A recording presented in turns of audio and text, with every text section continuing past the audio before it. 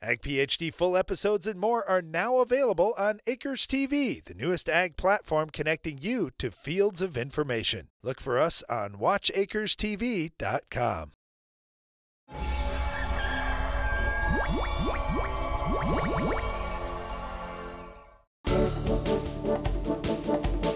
During our Farm Basics time each week, we talk about something that we discuss on the farm a little bit, but if you are a non-farmer or you're a beginning farmer, you might say, what in the world is that?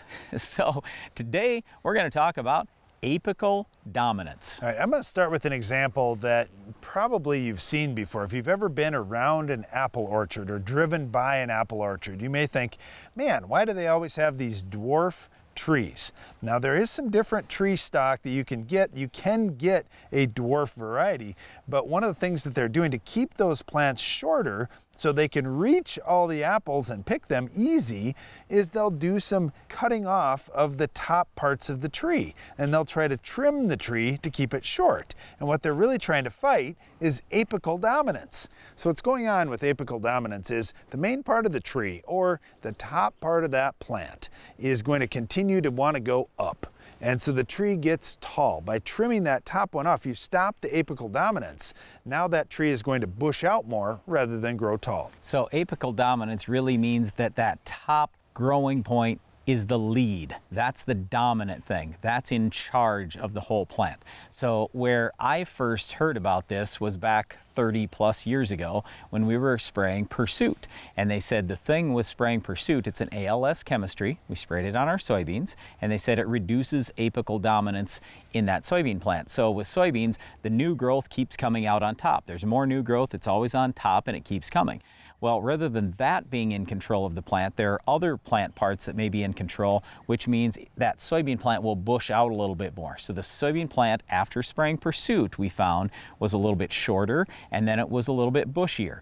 So it literally changed something going on in the plant. That something was apical dominance. So the plant structure did look a little bit different after we had sprayed Pursuit. Yeah, it's kind of interesting just how this works, and it's really fun to learn about plants for, for me, and I, I would hope for just about everybody out there. You, you, always have things that come up. I had a tree that I had planted in my front yard. We had a storm, and the main growing point of that tree broke in the storm, and I thought, well, I guess we'll just have to cut the tree out and put a new tree in. But my arborist said, no, no, no, don't do that. You're going to have an amazing tree here because now what's going to happen is these side branches are going to take over. And it really did, and it turned out to be great. Uh, I, I, wouldn't say the same with my corn brand. if the top breaks off, that is the growing point of the corn plant. So and it only has one. And it only has one. So like soybeans, that plant has many different growing points. So that's the other thing. It's important to understand the plant that you're talking about.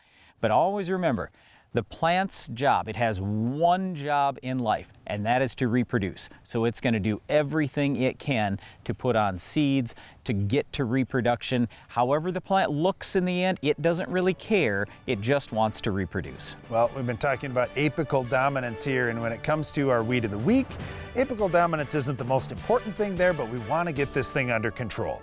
Can you identify this week's weed?